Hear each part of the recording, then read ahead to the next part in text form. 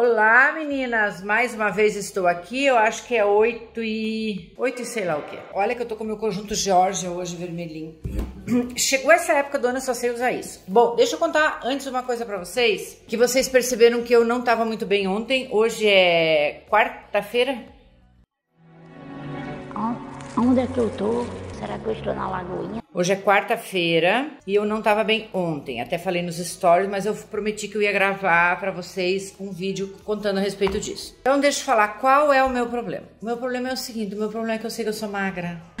Eu tô passada, chocada. Quando você sabe que você é magra e você é gulosa, isso é um saco. É um saco por quê? Porque você pode comer tudo, até as paredes. Mas aí o que que acontece, gente? A gente tem uma coisa dentro de nós chamada fígado. E o fígado não aceita tudo. E era isso que eu não tava entendendo. Era isso que eu não tava, entendeu? E o meu fígado apitou ontem. Nossa, eu passei muito mal. Vomitei, me deu tremores assim, entendeu? Tanto que eu achei que eu nem ia trabalhar de tarde. Gurias, e acabou que eu consegui. Eu sei que, enfim, era uma, uma e meia, eu acho, eu consegui. Eu tava lá na fábrica, mas não consegui almoçar. Não consegui tomar café, tava com um repugno de café. Tomei um chá e comi um pãozinho, vomitei tudo. Nesse meio tempo tomei uns remedinhos ali pro fígado, vomitei uns remédios também. Enfim, o que que me salvou? Deixa eu mostrar para vocês o que que me salvou o dia de ontem. Isso aqui, uma coisa chamada água. Tá escorando meu celular. Então, gente, algum tempo atrás, quantos anos será atrás? Uns seis anos atrás, mais ou menos isso.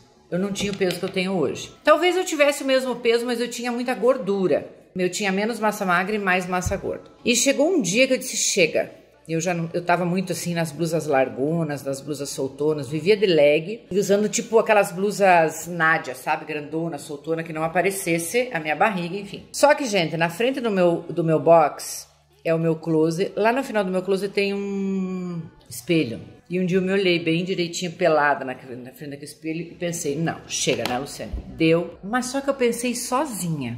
Não fiquei falando para ninguém. Porque nesse meio tempo eu já estava acompanhando algumas pessoas que faziam dieta, acho que eu já tinha mais ou menos em mente. E eu me lembro muito bem que uma pessoa falou assim: Quando você decidir fazer dieta, quando você decidir se cuidar, não fica contando para todo mundo que você tá fazendo dieta. Para muitas pessoas você não vai estar gorda o suficiente para fazer uma dieta. E as pessoas vão ficar tentando te sabotar. E ela disse assim: "Não fala que você tá de dieta. Fala que você tá com um probleminha no fígado". Gente, agora eu não tô mentindo, agora é verdade, tá? Mas eu só tô contando daquela vez. E foi isso. E claro, eu tinha problema com lactose, eu, eu tinha que mudar minha alimentação. Mas também naquela época, além de eu estar com, sobre, com um peso maior, não era o peso. É como eu falei pra vocês, eu tava com o peso que eu tô hoje, só que eu tinha mais massa gorda e menos massa magra. O meu corpo tava me dando sinais como está me dando agora. Então assim, ó, ah, Tá, você passou mal no, de manhã, mas o que, que você comeu na noite anterior? Às vezes nem era nada pesado, nem era fritura, nem era coisa assim.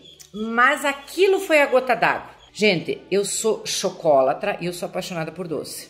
Eu como muito doce, mas muito mesmo. Então, voltando àquela época, não me exercitava. Me lembro que eu me matriculei bem quietinha na academia e comecei a fazer dieta. Fui no mercado, comecei a comprar comidas que podia. E, claro, agora que eu me lembrei, eu fui na nutricionista. Na época eu fui na Michelle Grigolo. Uma das nutricionistas, eu passei por várias nutricionistas. A Michelle foi uma das nutricionistas que mais foram simples, básica e tanto que eu me lembro da minha consulta com ela e é que ela me falou aquele dia na consulta que eu tô pregando agora com o que aconteceu comigo, eu me lembrei do que ela falou, então eu, eu vou fazer o que ela me disse naquela época. Então naquela época eu fui na Michelle, a Michelle me deu a dieta lá, uma dieta muito a dieta dela é isso, aqui, ó. Ela desenha um prato para mim e ela dividiu em três o prato. Então ela disse, Lu, essa parte maior é salada, essa parte aqui é carboidrato e essa parte é carne. Acabou. É um prato desse entendeu? O bife era do tamanho da palma da mão. Meio da manhã e meio da tarde, fruta. Muito simples a dieta dela, muito simples. Sem ninguém, entendeu? Sem, ai, tantos dias. Claro, eu fui em outras nutricionistas depois, mas era fitness, aí, né? Aqueles complementos, aqueles suplementos alimentares, blá, blá, blá, blá. Mas assim, dieta para você passar bem, é isso aqui que a Michelle me ensinou. Comecei na academia, me lembro que eu acordava às 5 e meia da manhã, porque o que que eu pensava? Como meu marido achava futilidade ir na academia, eu tinha que ir num horário que a minha família não precisasse de mim para ele não começar a reclamar que eu não estava em casa casa. Olha, eu fui persistente, porque para perder o peso que eu tinha que perder, eu tinha que fazer academia de seis vezes por semana. Eu fazia academia de segunda a sábado. Não, acho que no começo foi de segunda a sexta. Sábado e domingo eu não ia. Mas foi um período de mais de um ano me cuidando na alimentação, me cuidando na dieta, me cuidando na alimentação e indo pra academia. Second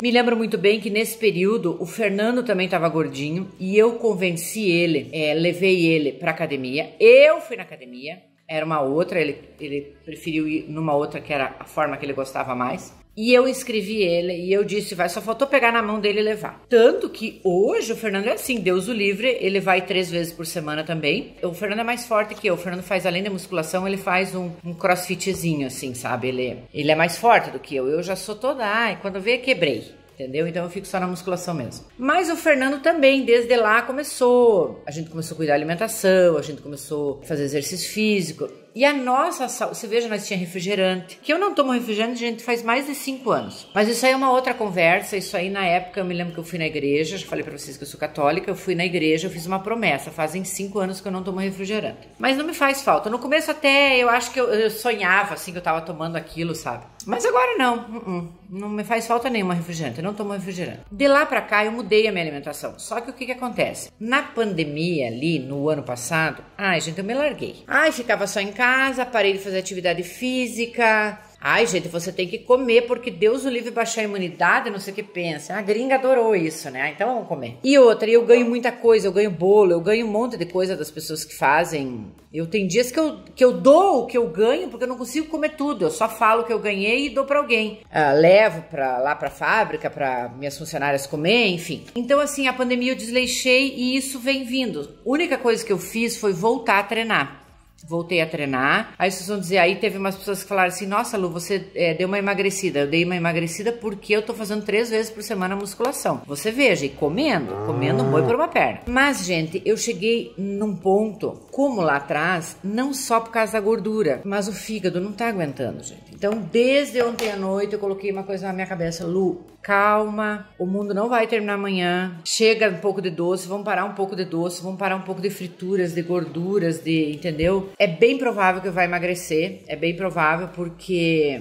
se comendo tudo aquilo, indo na musculação, eu emagreci, imagina fazendo três vezes por semana musculação, não tô falando que eu vou reduzir a comida, tá? Eu tô naquela do que a Michelle me falou disso aqui. Por exemplo, agora, meio-dia, eu vou fazer carne, salada e arroz, ou eu compro carne, né, mando vir, enfim, eu vou comer dessa forma entendeu? Muita salada, o carboidrato e a carne, entendeu? É isso que eu tenho em mente. Isso aqui é muito fácil, gente. Isso aqui, se você leva isso aqui, ó, o que, que eu posso comer? Eu posso comer assim. Não é um pratão de lasanha, não. É isso aqui de salada, isso aqui de carne isso aqui de carboidrato. Você põe isso na tua cabeça até quando você vai num buffet, quando você viaja. Eu achei muito prática essa dieta, porque assim, não tem fazer coisas. É uma carne é, duas colheres de arroz e a salada. Não tem um refogado, enfim, não tem o que. Não tem lugar que você vá que não tenha uma comida dessa. É, eu já troquei o pão, né? Eu comia francesa ali também, já peguei o meu integral aqueles 7 grãos, 12 grãos, não sei quantos grãos lá. que mais? Peguei mais iogurte, peguei uma granola maravilhosa, que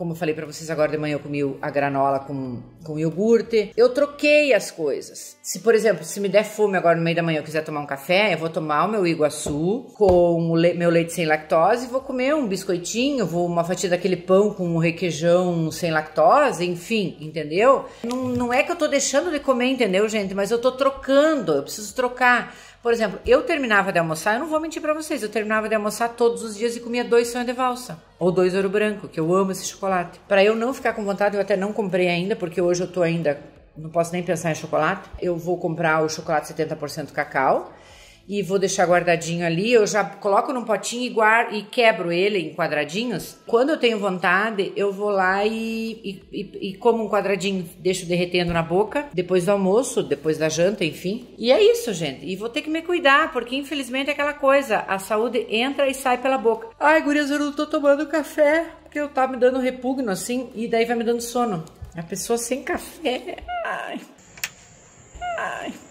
Mas agora às 10 horas eu vou me fazer um cafezinho. Nem que seja meia xícara, com pãozinho assim, porque eu não consigo ficar sem café. Ah, meninas, então eu tô passando para contar para vocês dizendo que eu vou ter que mudar minha alimentação, não é por peso, não é por nada, é por fígado, meu fígado, ai, coitado, tô muito na água, tá, gurias? A gente tem que se cuidar, a gente chega numa idade, eu me lembro quando eu era novinha, nossa, eu comia de tudo, nada me fazia mal. Outra coisa, tipo assim, eu achava que eu tava com uns quilinhos a mais. Ai, no domingo eu comi um monte, não, essa semana eu vou me cuidar, essa né?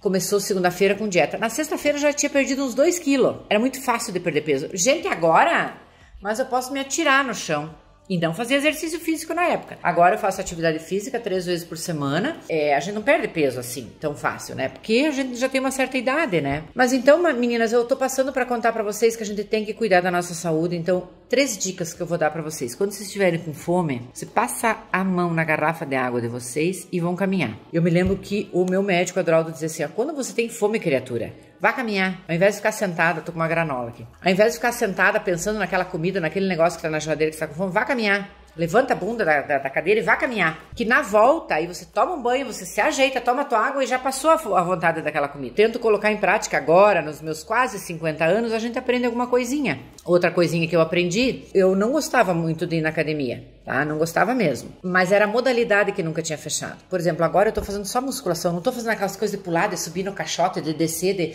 de, de, de burp, de agora corre, agora não sei o que lá. Gente, eu não sirvo para isso, acho que até meus órgãos internos se mexem com isso daí. Eu tô fazendo musculação. Eu tô fazendo musculação, que é o que o meu médico fisioterapeuta mandou por causa dos dedos. Nós, mais de idade, precisamos fazer músculo, porque os nossos músculos vão diminuindo. Então, e com a musculação eu perdi peso, entendeu? Então, eu tô fazendo uma coisa que eu gosto, eu gosto de nos aparelhos, eu gosto de levantar peso, eu, porque é mais parado, não é nada pulando, entendeu? Então é algo assim que não me chacoalha a cabeça, não fica me. me... Ai, senão eu quase me quebro, gente, não dá. Aquelas coisas de crossfit lá, eu. Gente, me, me, me sai tudo do lugar. E agora na musculação eu me achei, entendeu? Eu tô fazendo só musculação. Me alongo quando começo, me alongo quando termino, faço a minha musculação e perdi peso, entendeu? Tô indo três vezes por semana.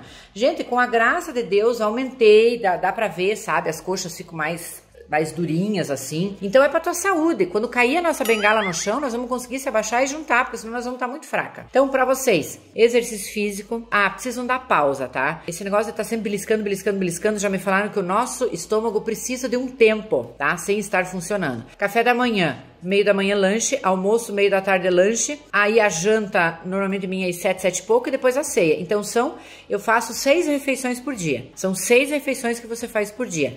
Entre as principais você vai comer fruta. É isso, só acabou, morreu a história. E muita água, tá? Viva a água. E é isso, um beijo, fui.